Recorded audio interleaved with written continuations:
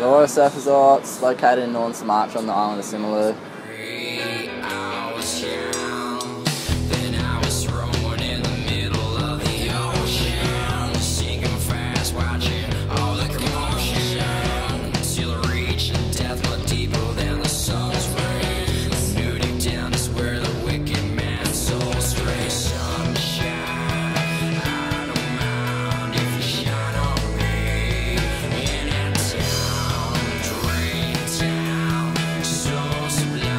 Food at the resort's really good. They've got a good mix of local Indonesian cuisine and other countries' influences. You have barbecue some nights, pasta's another, and then yeah, your good old-fashioned Indo mee gorengs and fried rices. So they can cater for all needs, vegetarian, vegan, hire motorbikes and explore north and south of the island.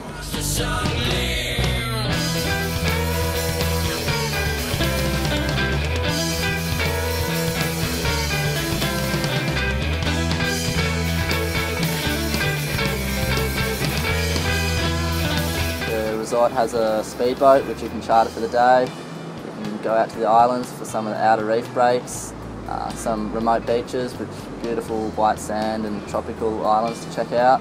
If the waves aren't cooperating, there's plenty of things to do on the flat down days. There's a game room with ping pong and a pool table, mini golf course around the resort. The main hangout area at the resort is the main building where they serve breakfast and most of the meals.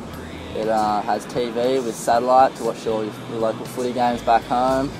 Uh, plenty of cold beverages to be had to hang out with some of the other guests and meet some new people. So the overall area and vibe of the place is really friendly and open and good.